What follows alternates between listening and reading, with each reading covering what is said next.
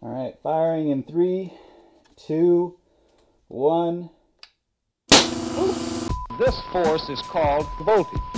Now watch what happens as soon as I turn the switch on. All right, you guys asked for it, so today I'm going to deliver on something that you want to see made real. I'm going to be making Symmetra's turrets, and they're going to use real lasers. Also, quick warning, don't play with lasers if you don't know what you're doing. Alright, so first things first, let's turn this translucent blue piece of acrylic into the light diffuser for the turrets and also for the hover rings down below.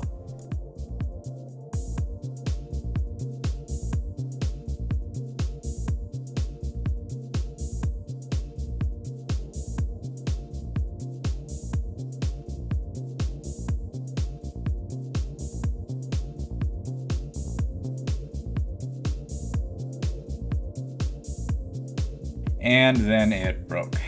I accidentally screwed up the Z offset, so it took way too deep of cuts and ruined the pieces and shot one of them across the room. Very fun, by the way. Thankfully, I was able to recover the diffuser pieces, which are the most critical points. No little hover rings, oh well.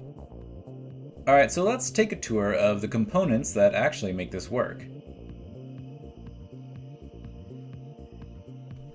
First up, we've got the laser diode itself. This is a 2 watt laser diode, uh, 445 nanometer, for those of you who are curious. Next, we've got a servo motor for each one. These have some special mounting brackets. I actually got these for free. They're way overkill and silly expensive, uh, but they have that nice little hub which makes it easy to attach things to. For sensing, I've got this infrared range finder. Pretty easy to use and can measure things from about 15 centimeters to 150 centimeters. Got this illuminated arcade button, which uh, will be the main trigger. Pretty handy. And I've had this gigantic e-stop for a while now, and I feel like this is the perfect uh, main connection for the laser power. It's really fun to press. The whole thing's controlled by an Arduino Mega and a relay shield because the lasers actually draw a fair amount of current. Uh, definitely overkill, but once again, I had it on hand and I'm probably never going to use this Mega for anything else. And the lasers run from 6 to 9 volts, so this 2-cell LiPo battery will do the trick. Inside, there are going to be strips of RGB LEDs, so I can get the teal color. Now, last but certainly not least, I'm going to be turning this welding helmet into my own version of, you know, FPV goggles. Of course, this viewport does nothing to protect my eyes from the wavelength of light the lasers emit, so I'm going to be completely masking it off, putting a camera on the outside and a little LCD on the inside so I can safely view uh, the laser beams and see what I'm doing with absolutely no chance of it getting, you know, to my retinas. I'm going to be using this little LCD screen for the interior, this camera to provide a video feed,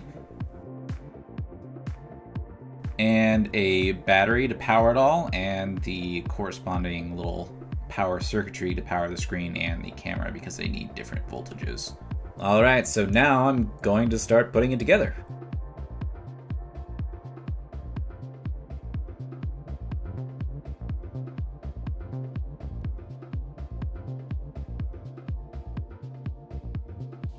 So we're getting close. I've got just about everything assembled. Uh, the base with the buttons are ready. Parts are glued. Laser modules are mounted.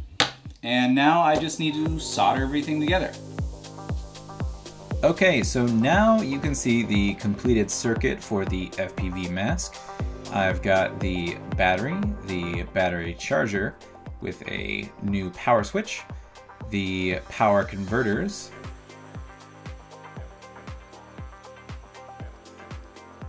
and the camera and LCD, and everything's working. Alright, so now with the electronics for the mask done, it's time to modify the visor so that no light gets inside.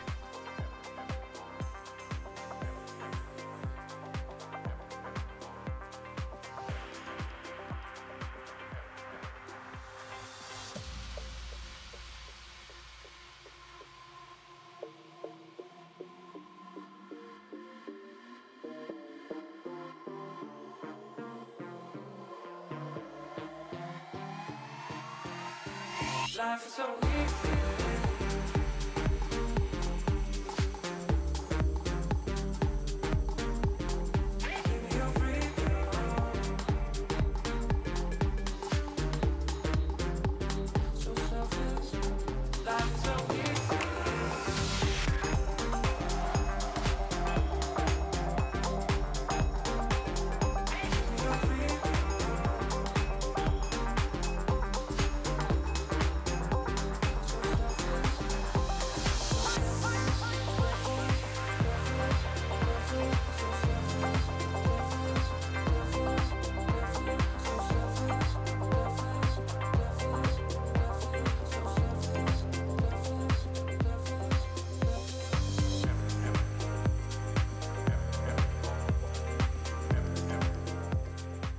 So that only took forever.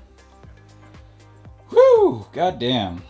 Alright, let's test them out. First test, but before I do that, I need to put on fancy eyewear.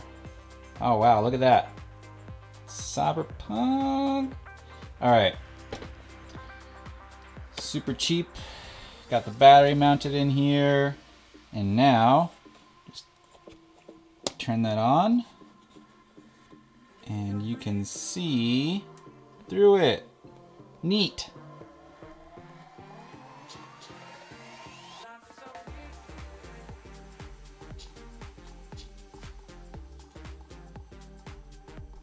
All right, first test. Oh, all right.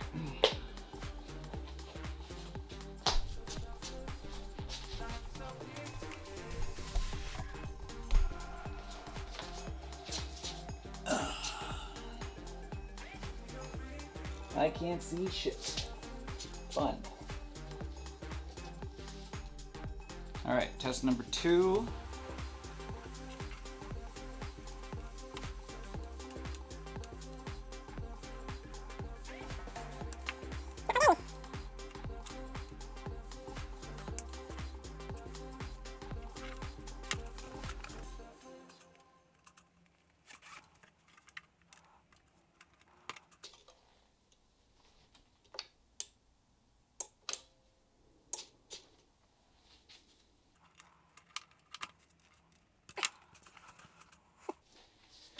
Sick. All right. Got some burnage.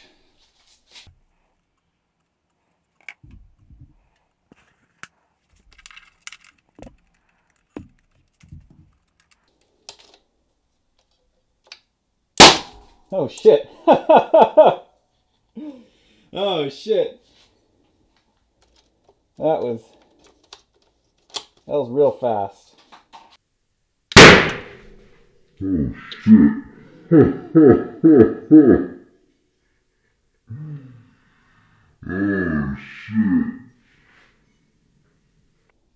All right, firing in three, two, one. Woo! All right, three, two, one. God damn it. All right, final test. The ultimate balloon.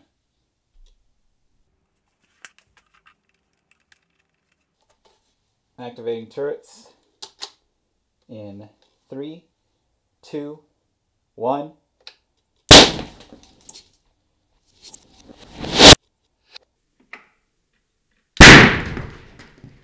Holy fuck.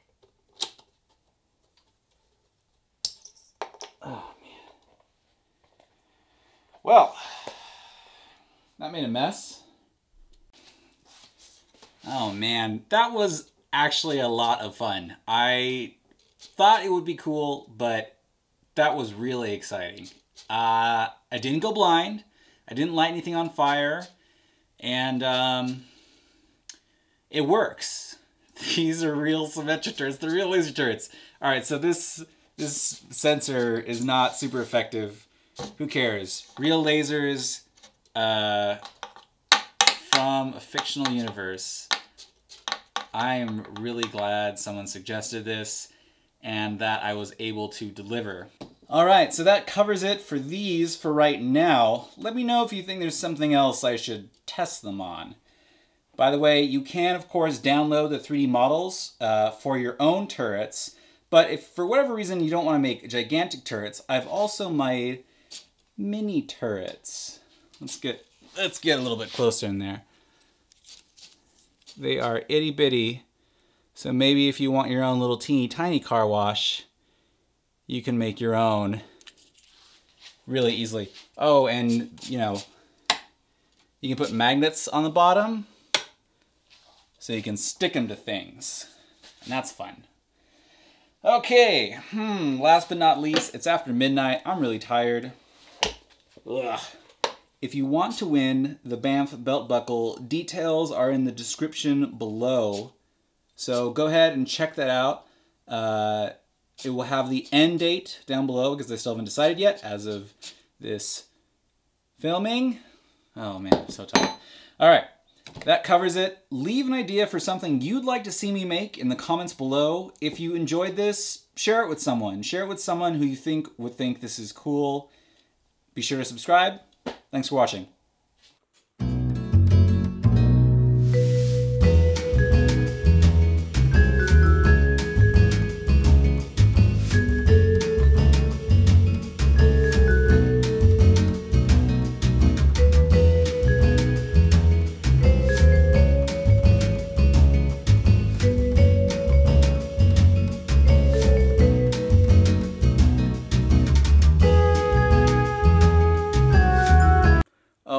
Uh, for those of you guys who stuck around to the very end, next week I'm going to be starting Brigitte's Rocket Flail.